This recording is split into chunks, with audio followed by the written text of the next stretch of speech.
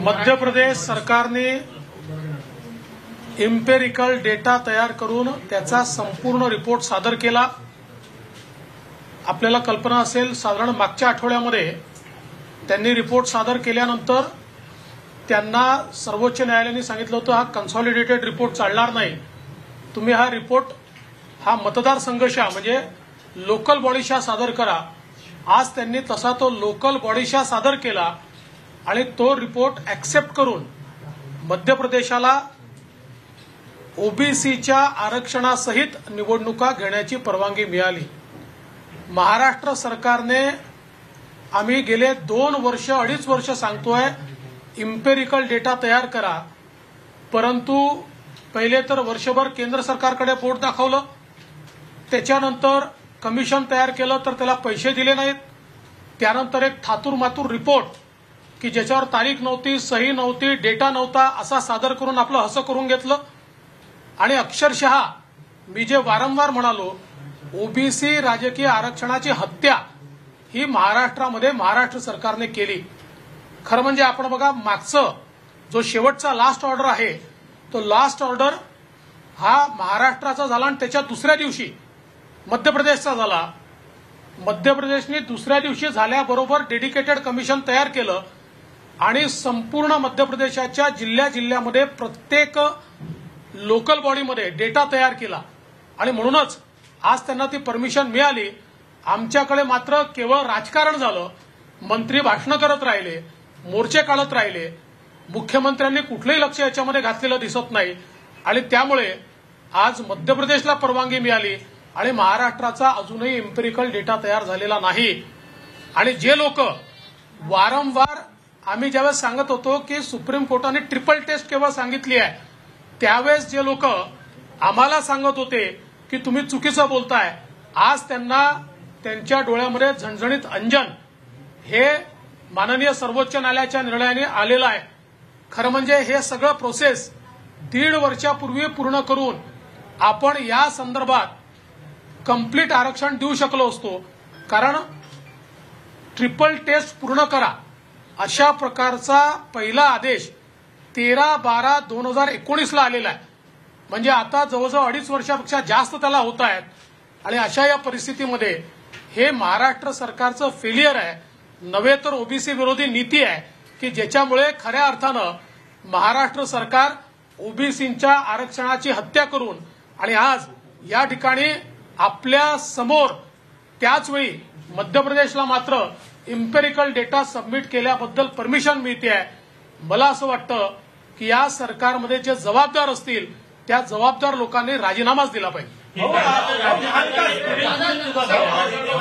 महा- महाविकास आघाडीचे म्हणतात की जो निर्णय मध्य प्रदेशसाठी लागू झाला तो महाराष्ट्रात व्हायला पाहिजे. काय वाटतं?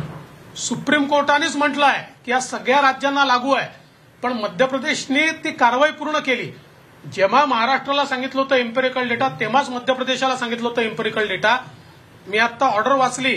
त्या ऑर्डरमध्ये स्पष्टपणे त्यांनी म्हटलं आहे की यांनी लोकल बॉडी शहा इम्पेरिकल डेटा ट्रिपल टेस्ट पूर्ण केली. आणि म्हणून या संदर्भातली परमिशन आम्ही देतो. इतकं क्लिअर म्हटलंय. हेच आपल्याला करायला पाहिजे होतं. अजूनही ते करायच्या ऐवजी या ठिकाणी त्यांना लागू तर आम्हाला का नाही? सुप्रीम कोर्टाने लागूच केलाय. तुम्हीच करत नाही तुमचा नाकर्तेपणा आहे. महाराष्ट्र सरकारचा नाकर्तेपणा आहे. हिंदी क्या क्या वजह है कि मध्य प्रदेश सरकार का एक्सेप्ट हुआ और महाराष्ट्र का नहीं? कौन जिम्मेदार है देखिए महाराष्ट्र को 13 बारह 2019 को ही बताया गया था ट्रिपल टेस्ट पूरा कीजिए। एक साल महाराष्ट्र सरकार ने केंद्र की ओर उंगली दिखाई। उसके बाद कमीशन तैयार किया तो उसको पैसे भी नहीं दिए स्टाफ भी नहीं दिया। उसके बाद कोई तो रिपोर्ट एक जो कमीशन ने कहा हमने तैयारी नहीं की। वो सुप्रीम कोर्ट में दी सुप्रीम कोर्ट ने गुस्से में आकर उस रिपोर्ट को नकार दिया। उसी समय मध्य प्रदेश को आदेश मिला तो मध्य प्रदेश ने पूरी ट्रिपल टेस्ट तैयार करके रिपोर्ट सबमिट किया।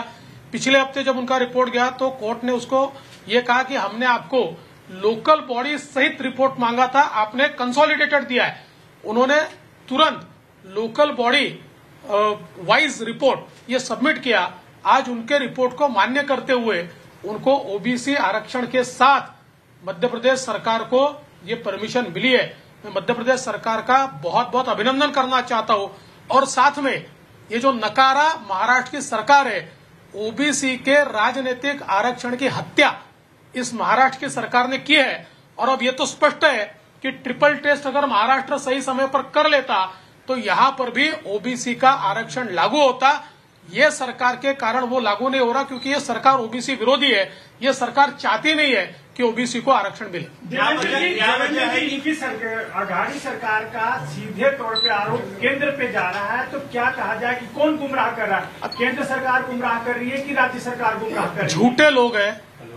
झूठी बात करते हैं।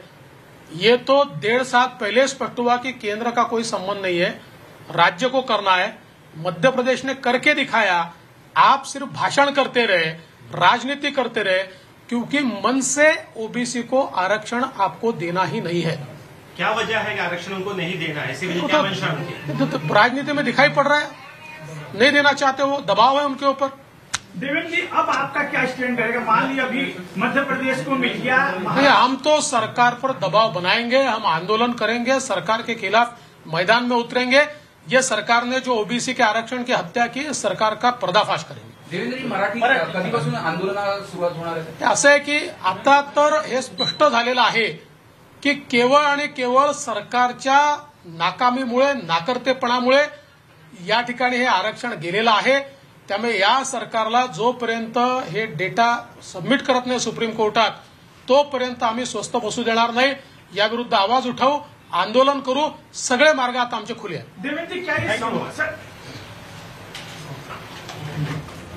देवेंद्र जी क्या ये सम- सर पण पाहिलं विरोधी पक्षनेते देवेंद्र फडणवीस यांनी पुन्हा एकदा सरकारवर हल्लाबोल केलाय. जबाबदार नेत्यांनी राजीनामाच दिला पाहिजे असं देखील त्यांनी थेट म्हटलेलं आहे.